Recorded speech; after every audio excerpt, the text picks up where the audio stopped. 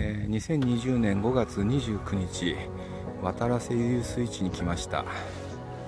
うん何もないとこだけどすごいいいとこです。こんな感じ。こっちのね方はね、えー、日光。日光とか栃木とあと群馬の方です。こっちの方はね。うん。こんな感じで。すごいいいよねなんか。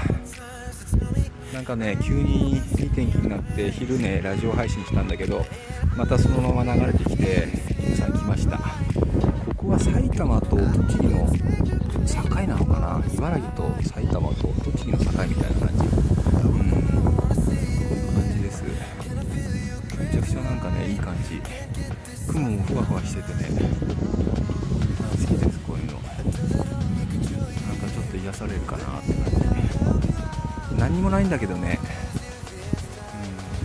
うん。前にずっと前に来たかな1回。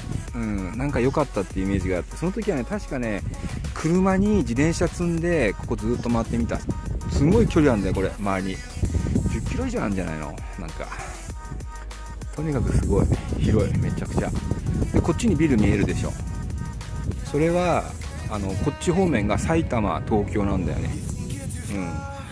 そっちの方から三国橋って言って橋渡ってきた。今うん。でなんかね道の駅があるみたい。渡良瀬遊水地の。うん。それも行ってみたいなと思うんだけどね。うん。あ今もうだいぶ歩いた。うん。配信もね今ねライブ配信終わってね。うん。全然なんかフリーズしたからうん。もう一回ねちょっとね撮り直してる。5分ぐらい撮れたらいいかなと思ってる。こっちもね。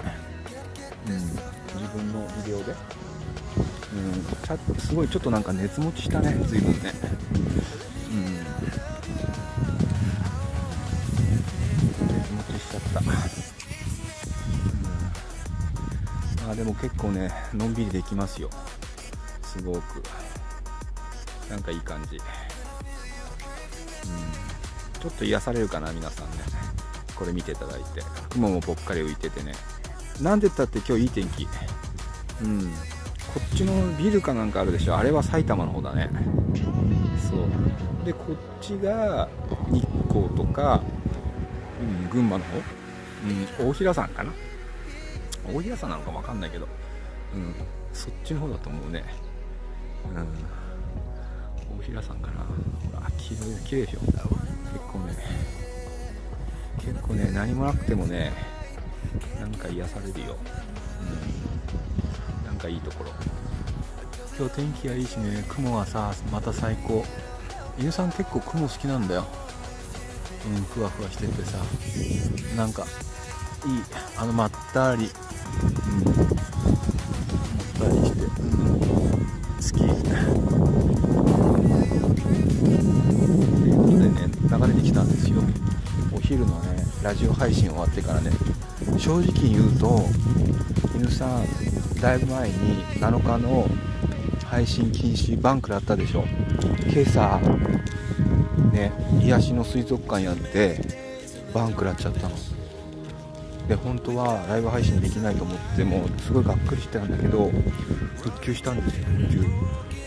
で嬉しくなってラジオ配信してその後、うん、またこっちにドライブで来ちゃった。あんまり嬉しくなっちゃって、うん、皆さんのおかげだと思ってね嬉しくなってね、うん、あなんかすごい気分良くなってきちゃった。